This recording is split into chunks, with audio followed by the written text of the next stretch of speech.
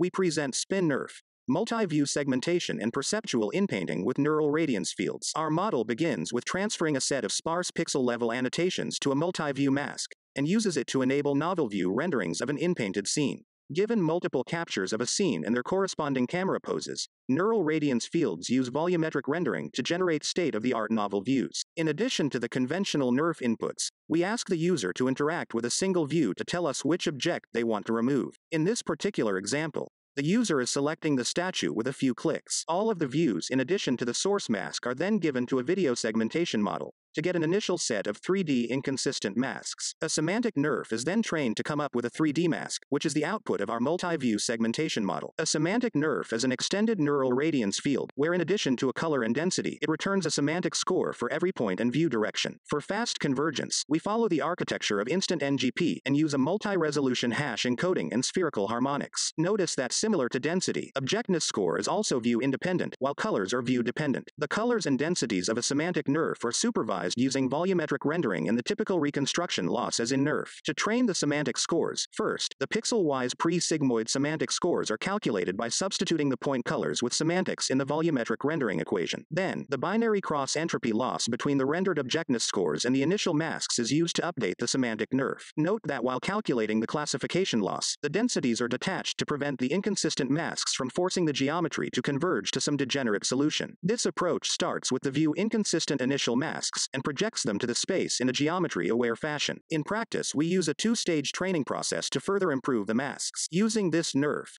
we render the training masks and disparities from the scene, that are then given to an off the shelf 2D inpainter to come up with a geometry and appearance guidance for the inpainted NERF. While the mean squared error is used to supervise the geometry, since the outputs of the 2D inpainter are 3D inconsistent, a perceptual loss is used to supervise the appearance. To reduce the memory footprint and increase the speed of the fitting process, the perceptual loss is calculated between smaller random patches sampled from the bounding box of the object mask. The perceptual loss relaxes the hard reconstruction constraints of NERFs and prevents blurry results while creating view-dependent effects.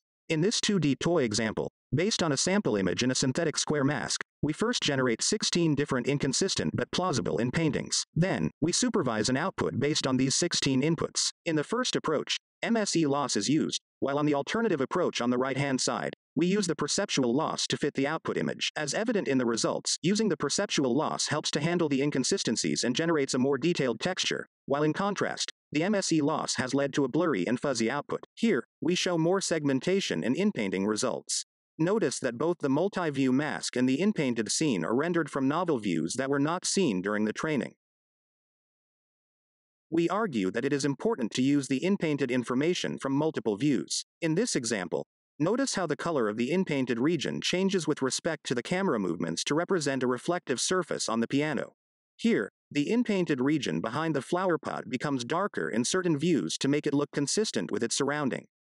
Moreover, notice the accurate reconstruction of the repeated thin structures in the background. For quantitative evaluations, we address the need for a standard benchmark including ground truth captures of scenes without the unwanted object as test views, and introduce a dataset containing 10 real-world scenes with human annotated object masks. For each scene, we provide 60 training images with the object, and 40 test images without the object. For each scene, all of the 100 images are then fed into Colmap, in order to recover the camera parameters in a shared coordinate system. This dataset is further suitable for evaluating tasks such as real-time 3D inpainting, unsupervised 3D segmentation, and video inpainting. Thank you for your attention.